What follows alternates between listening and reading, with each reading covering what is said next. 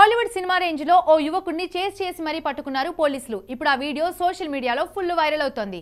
అయితే ఈ ఘటన జమ్మూ కాశ్మీర్లో జరిగిందని ఆ యువకుడు ఓ మోస్ట్ వాంటెడ్ టెర్రరిస్ట్ అంటూ వార్తలు వైరల్ అవుతున్నాయి. తాజాగా ఈ ఘటనపై స్పందించిన పోలీసులు జమ్మూ కాశ్మీర్లో జరగలేదని తెలిపారు. ఇంతకీ ఈ సంఘటన ఎక్కడ జరిగింది? ఆ యువకుడు నిజంగానే టెర్రరిస్టా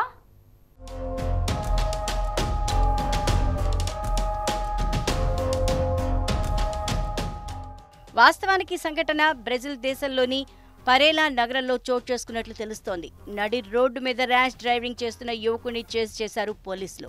అయితే తప్పించుకుని పారిపోతున్న అతన్ని ఓ రోడ్డు వద్ద కారుతో బ్లాక్ చేశారు పోలీసులు. దీంతో బైక్ను రోడ్డు మీదే వదిలి పరిగెత్తబోయాడు యువకుడు. ఆ వెంటనే కారులోంచి దిగిన ఓ పోలీస్ ఆఫీసర్ అమాంతం గాల్లోకి ఎగిరి యువకుడి మీదకు దూకి మరీ పట్టుకున్నాడు. ఇందుకు సంబంధించిన వీడియో అక్కడే ఉన్న కొందరు వాహనదారులు రికార్డ్ చేశారు. దీంతో ఒక్కసారిగా ఈ వీడియో సోషల్ మీడియాలో ఫుల్ వైరల్ అవుతోంది.